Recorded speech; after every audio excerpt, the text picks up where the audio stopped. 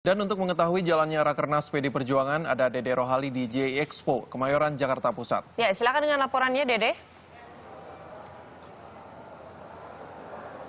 Ya, Zizi dan Peter, rapat pleno tertutup dengan agenda menegarkan pemaparan dari Presiden Joko Widodo selaku kader Partai Demokrasi Indonesia Perjuangan baru saja selesai.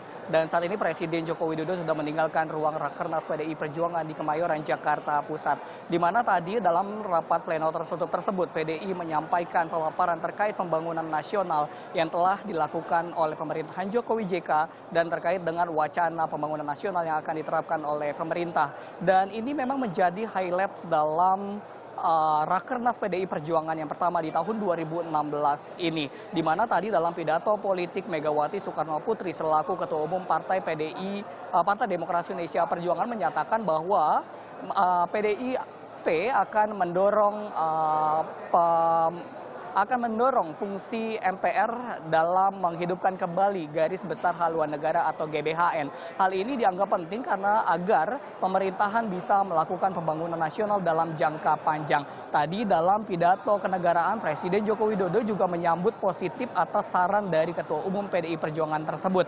Di mana Jokowi menyatakan juga bahwa hal ini nantinya agar pemerintahan yang terpilih nanti tidak hanya melaksanakan visi lima tahun ke depan. Dan berikut pernyataan dari Presiden Presiden Joko Widodo.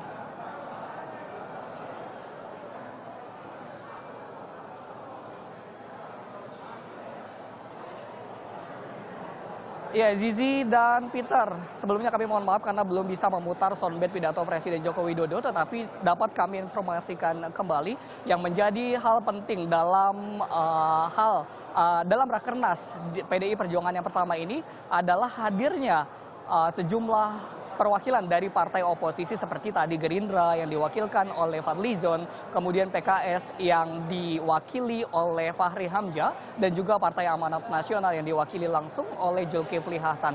Dan ini semakin memperkuat adanya sinyal gabungnya sejumlah partai oposisi kepada pemerintahan di tengah isu reshuffle kabinet jilid 2 yang akan yang akan dilakukan oleh Presiden Joko Widodo dan juga Yusuf Kala.